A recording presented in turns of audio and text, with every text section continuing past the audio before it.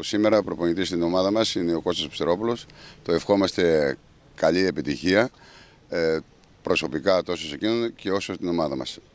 Είμαστε πάρα πολύ σύντομοι γιατί περιμένει η ομάδα για να αρχίσει η προπόνηση και θα δίνω το λόγο στον Κώστα. Εγώ ευχαριστώ πολύ για τη τιμή που μου κάνετε να είμαι εδώ σε μια ιστορική ομάδα. Ε, σίγουρα είναι δύσκολη στιγμή για την ομάδα και η βαθμολογική της θέση. Θα κάνουμε την καλύτερη δυνατή προσπάθεια ε, για την ομάδα που έτσι κι αλλιώς έχει τη δυνατότητα και τη δυναμική και γι' αυτό και εγώ είμαι εδώ. Σας προβληματίζει καθόλου το γεγονός ότι ξεκινάει η ομάδα με ένα πολύ δύσκολο ντερμπι. Εντάξει, ε, όλα δύσκολα είναι. Μπορεί να είναι πιο πλήρης αυτή η ομάδα και με παραστάσεις ε, παιχτών άλλο επίπεδο.